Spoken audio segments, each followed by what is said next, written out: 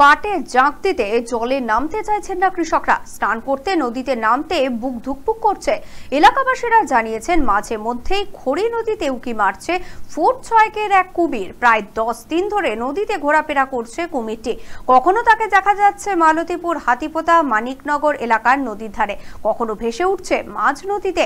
ঘটনার আতঙ্ক ছড়িয়েছে পূর্ব বর্ধমানের কালনা এক নম্বর ব্লকের খড়ি নদী পার প্রায় আড়াই কিলোমিটার এলাকা জুড়ে।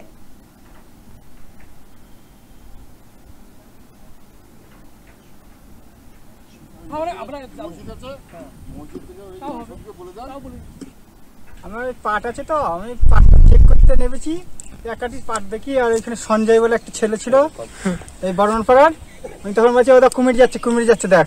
কবে দেখতে পেয়েছিলেন এটা পরশু দিনকে। আচ্ছা দিয়ে তারপর? পরশু দিনকে দিয়ে বলে আমি অতটা খেয়াল করছি না। আমি নদীতে গঙ্গায় কুমির থাকে না কি করে খেয়াল করি? বেচুমান থেকে দেখছি তো সত্যি তো এটা কুমির তো যাচ্ছে ভয়ে ভয়ে কাজ করতে হচ্ছে। আমাদের রেঞ্জার সাহেবকে কাটোয়া রেঞ্জার সাহেবকে একটা খবর আছে। ওনাকে খবর দেন যে এই আপনার ভাতৃগ্রাম বর্মনপাড়া এলাকায় একটা কুমির দেখা গেছে। আমরা জানার সঙ্গে সঙ্গে আমরা এখানে চলে এলাম।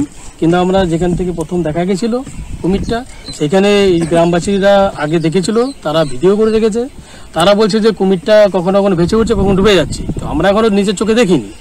তো কুমিরটা কিছু দূর হাফ কিলোমিটার যাওয়ার পর কুমিরটাকে আর দুদিন ধরে দেখতে পাওয়া যায়নি। তো আমরা সেই দোষে আছি যে কুমিরটাকে আমরা দেখতে পাবো কিনা বা খুঁজে পার করার চেষ্টা করছি।